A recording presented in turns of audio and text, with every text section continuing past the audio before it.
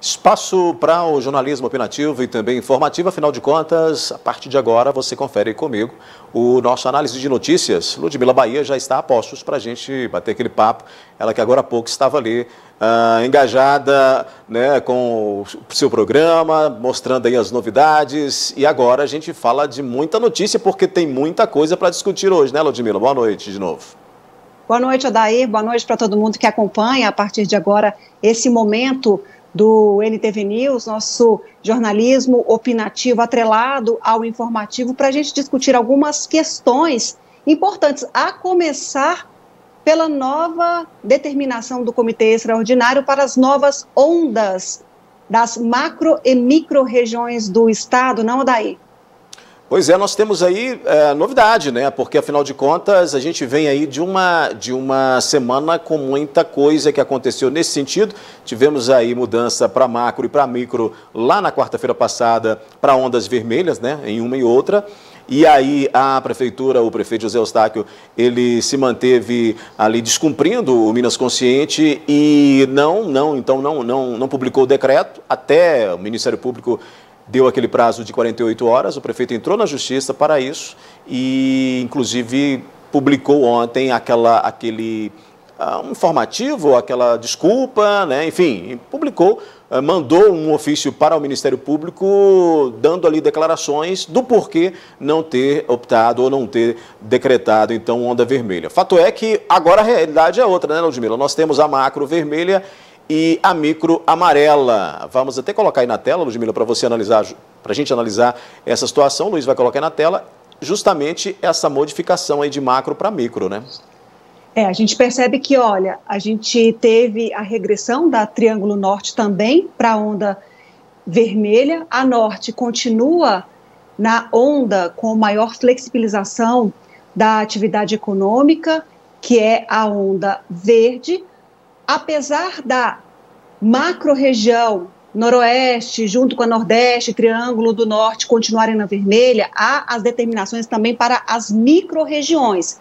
E quando a gente analisa os documentos do Estado e a gente vê a micro-região Patos de Minas, percebemos que está na amarela, mesmo que o mapa, olha só, essa é uma, uma arte publicada pelo governo de Minas Gerais e ele coloriu o mapa de Patos de Minas de vermelho, mas quando a gente olha lá, onda da microrregião é amarela. Logo, a gente segue como está.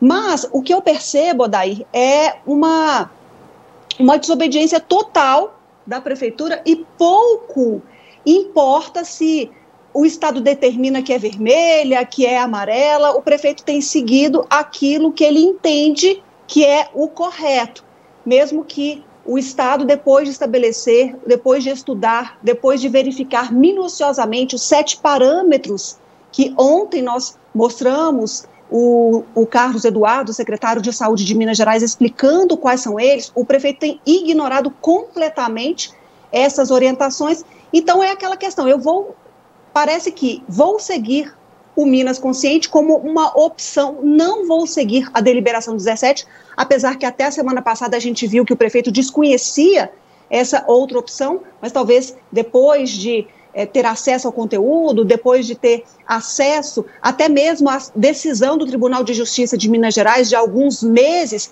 ele tenha percebido que tem dois caminhos a seguir. Mas insiste no Minas Consciente, mas o que parece é que vou seguir isso aqui porque talvez seja o mais conveniente, mas eu vou desobedecer, desobedecer, seguir ao meu entendimento, independente de qual seja o estudo apresentado pelo Comitê Extraordinário da Covid. A gente só espera que essa, essa medida, que essa escolha do prefeito não tenha consequências, porque é uma medida, é uma forma de controlar até mesmo os casos ou a quantidade de casos de infectados, assim como também de mortes por Covid-19 em todo o estado e também na microrregião Patos de Minas. Agora sim, na onda amarela, isso quer dizer que não muda nada com relação ao que vínhamos acompanhando nas últimas semanas.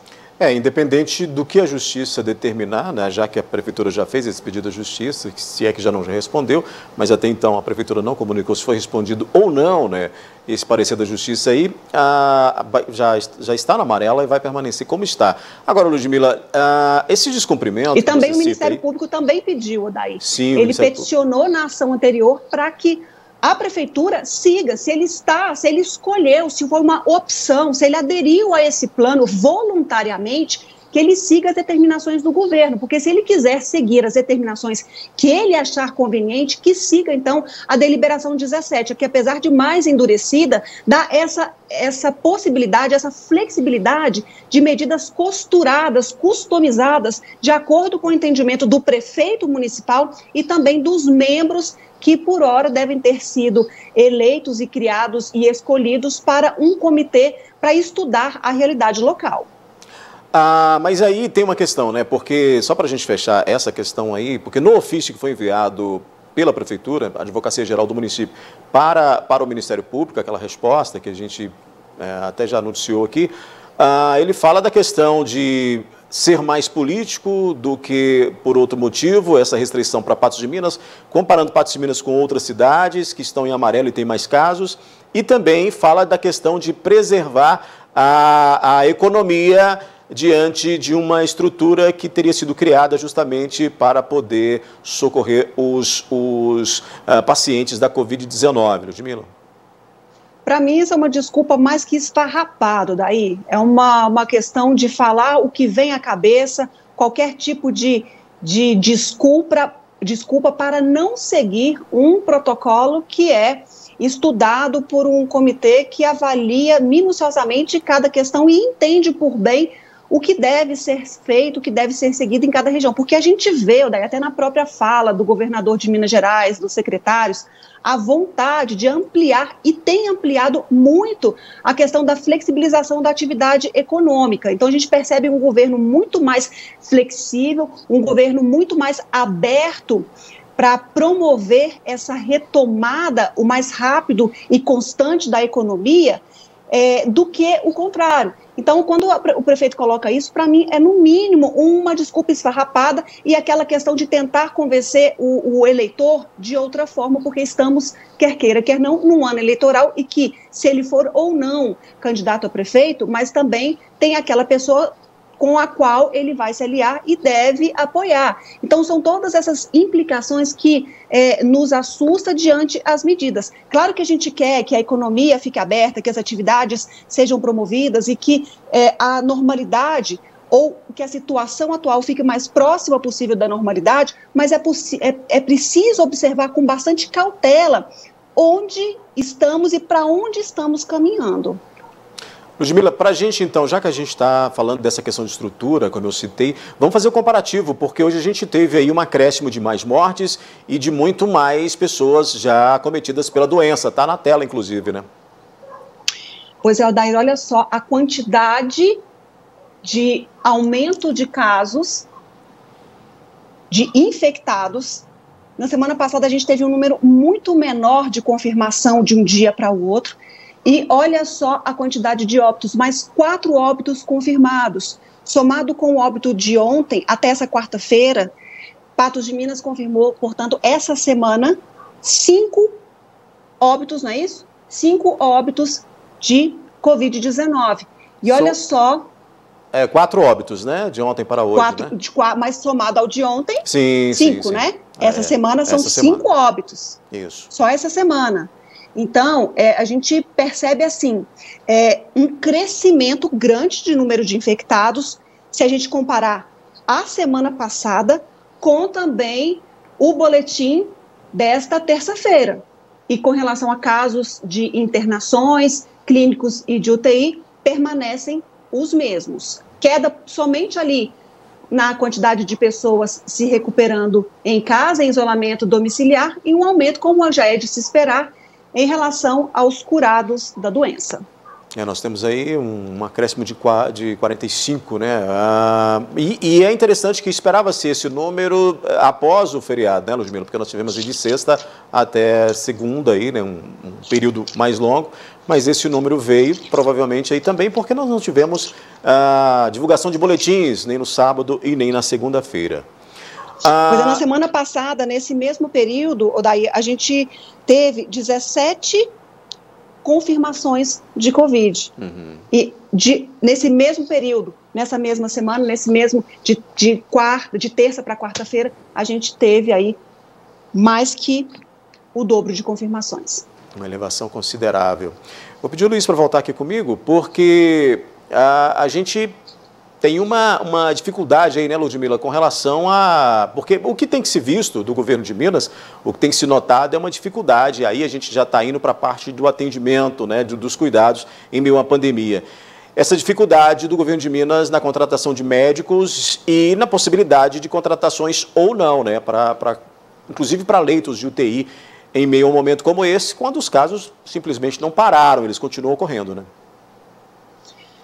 É, a gente viu com uma certa preocupação a fala do presidente da FEMIG nesta quarta-feira, porque aquela promessa de que o hospital regional poderia ganhar mais leitos de UTI direcionados aos pacientes com Covid-19 ou que poderiam ampliar mais leitos para tratamento de pacientes que necessitam de um tratamento intensivo, a gente viu nessa fala do presidente da FEMIG essa promessa se esvair parece que Patos de Minas não terá mais vagas de UTI no hospital regional, pelo que a gente acompanha e vai ver agora na fala do presidente da FEMIG. Diante da dificuldade de contratação de um, de um aumento é, é, do vencimento do salário para, para essa categoria, obtivemos sucesso com isso, conseguimos sim contratar os médicos para que a gente pudesse abrir os, os leitos novos de CTI. As demais categorias, é, a FEMIG não tem um salário defasado e conseguiu sim contratar. Neste momento, não há, não há uma previsão de expansão maior dos leitos de terapia intensiva. É, então, essa dificuldade hoje não se, não se vê pela, pela não necessidade de uma contratação muito grande. O que a gente vê de destaque também é o interior, Patos de Minas, especial e Barbacena, são regiões que há uma dificuldade da contratação do especialista médico, não só pela a questão salarial e sim pela ausência deste profissional nessas cidades, é, mas a gente conseguiu remanejamento interno de, dos hospitais, conseguimos sim dar essa resposta é, nessa região. Mas não é bem o que a região esperava, né, Ludmila? Esperava mais. Não, tem essa contratação pontual, vaga aberta para Barbacena, mas Patos de Minas.